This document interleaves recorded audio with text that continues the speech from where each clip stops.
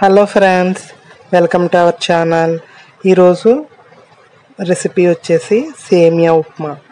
చాలా టేస్టీగా సింపుల్గా ఎలా తయారు చేసుకోవాలో చూపించబోతున్నాను.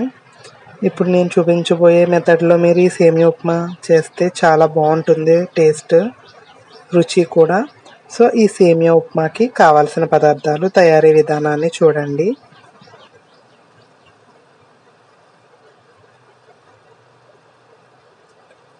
పోపు దినుసులు శనగపప్పు మినపప్పు ఆవాలు టమాటా ముక్కలు కొత్తిమీర ఆయిల్ సేమియా ఉల్లిపాయలు పచ్చిమిర్చి అల్లం ముక్కలు ఎండుమిర్చి కరివేపాకు.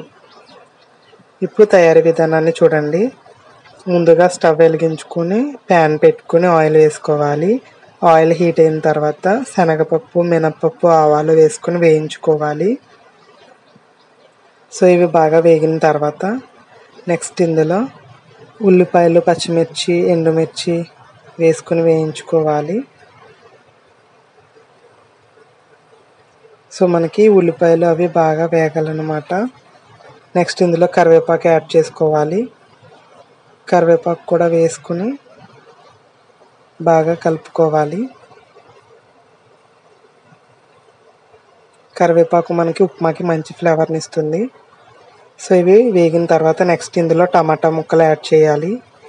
టమాటా ముక్కలు వేసుకుని బాగా కలుపుకోవాలి. అలాగే కొంచెం కొత్తిమీర కూడా వేసుకుని వీటిని బాగా మగ్గించుకోవాలి. సో ఈ విధంగా మనకి ఇవంతా బాగా వేగిన తర్వాత నెక్స్ట్ ఇందులో ఉప్పు వేసుకోవాలి. రుచికి సరిపడా ఉప్పు వేసుకొని నెక్స్ట్ ఇందులో వాటర్ పోసుకోవాలి. మనం ఏ కప్పుతో సేమియా తీసుకుంటే ఆ కప్పుకి రెండు కప్పులు ఒక కప్పుకి రెండు కప్పులు వాటర్ వేసుకుని కొంచెం పైన కొత్తిమీర వేసుకుని ఇప్పుడు ఈ వాటర్ని మరిగించుకోవాలి మూత పెట్టుకుని.